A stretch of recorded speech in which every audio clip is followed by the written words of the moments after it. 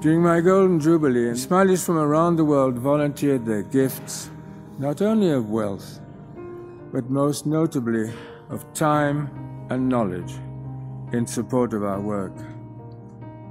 We established a time and knowledge framework, a structured process for engaging an immense pool of expertise involving tens of thousands of volunteers. Many of them travel to the developing countries as part of this outpouring of service. Their impact has been enormous in helping us to achieve best practice standards in our institutions and programs.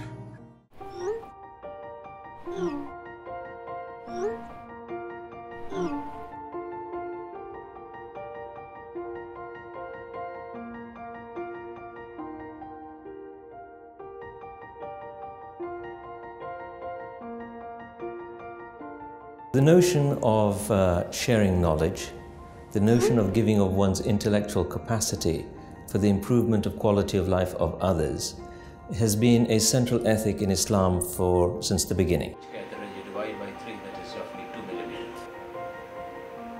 Differential magnification.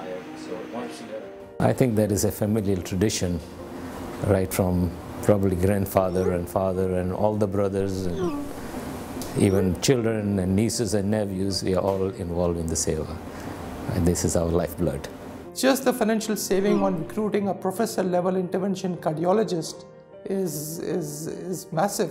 I mean, I would not want to give a number, but it's, it's massive savings. The whole attitude to train local staff and the whole approach towards mentoring the local folks, that is so much more valuable than the financial savings. That cannot be quantified. For us, the TKN volunteer is not a replacement for somebody who's paid.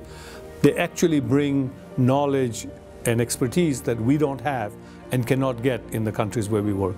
In food services, where we had a volunteer who still works with us as a TKN volunteer part-time, and from a distance monitors, supports, advises our people on the campuses, has helped save the university over a million dollars a year just in cost savings, in better buying, in better uh, efficiencies, uh, and, and also that's in addition to improve quality and improve nutritious value of the food.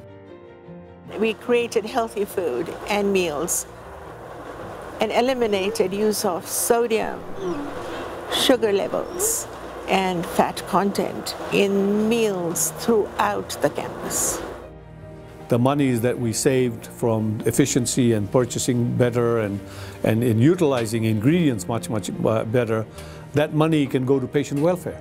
So it would help patients who would otherwise not be able to afford the care, but in this way we can now support more patients uh, than we were able to do previously.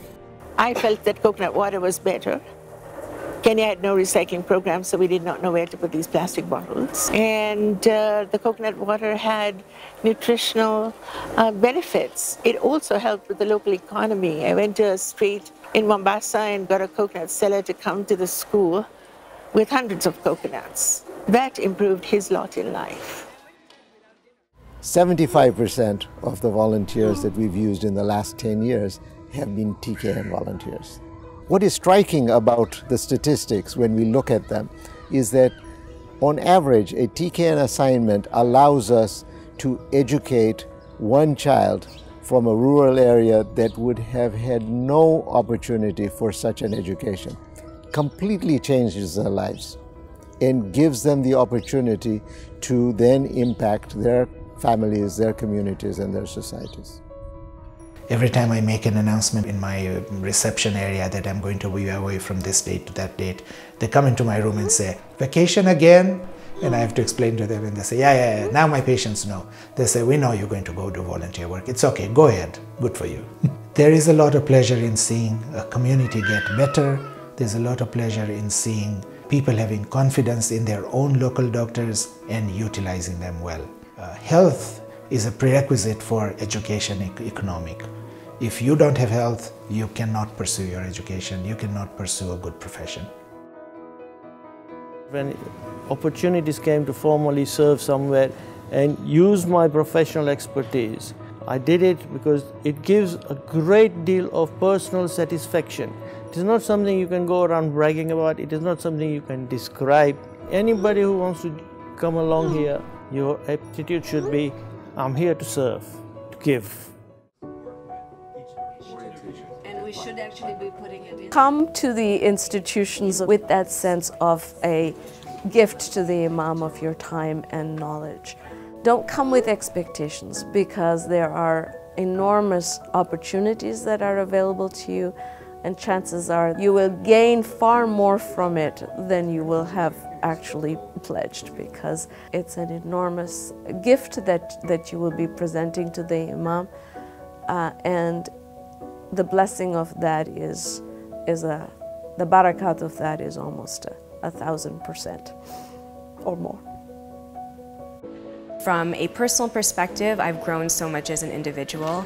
My appreciation for the world and people has changed uh, drastically. Um, I think I've become a very simple creature. Uh, I appreciate the little things now. Um, and from a professional perspective, um, I feel like I have a 360 degree kind of knowledge base now. I understand um, that not everything comes as easily as sometimes it does uh, in Canada because there are hurdles that I wouldn't be aware of uh, if I wasn't here.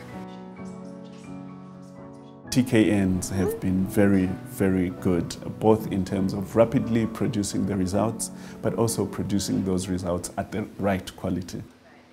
Gaps which otherwise would have cost us exorbitant sums of, of money, uh, those gaps we've filled with um, the right kinds of skills and motivation at a very affordable or in our case almost no cost. It's like a, a shot in the arm of energy to the organization. Volunteers are our core and key element to the work that we do.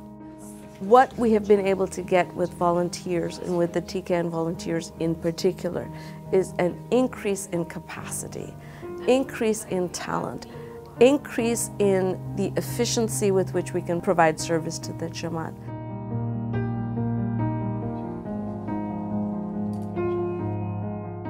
I was a teenager at the time when uh, there was a civil war in Tajikistan and that was a major conflict that influenced my life and the life of people around me and especially our generation. I see alternative dispute resolution as a very effective way of mitigating conflict.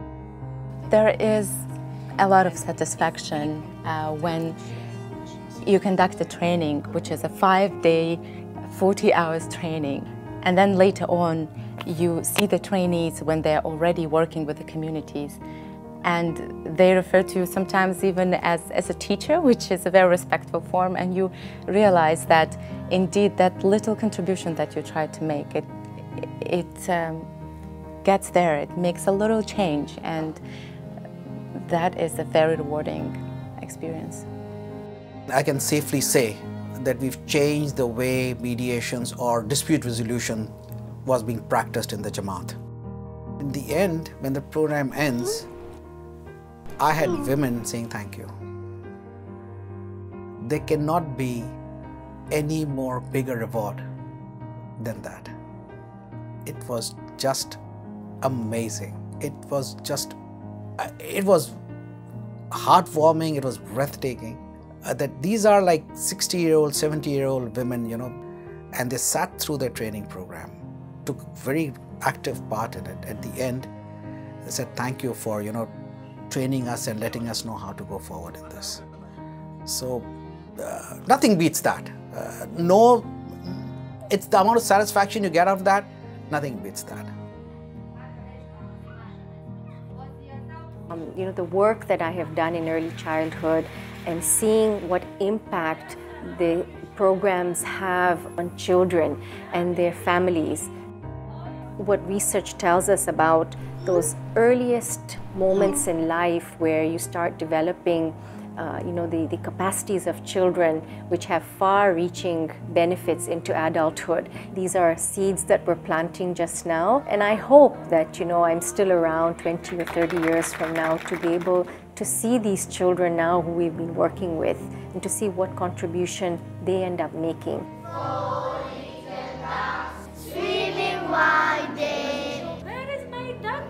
In order to know uh, how to approach each child, you, you, you should be highly qualified in psychology, in pedagogy, and this is what we are getting from our uh, professional volunteers who are much ahead in their education system.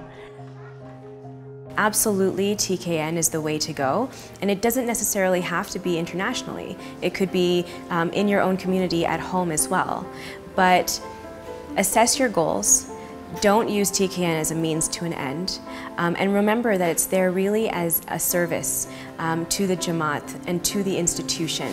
Be prepared to take on uh, new challenges, but also be prepared that there would be so much more coming as a result of it and so many new opportunities that you could never even think of.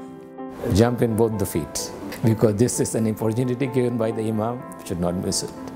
They should be fully prepared to be flexible. Very often the assignment is uh, written out as one thing.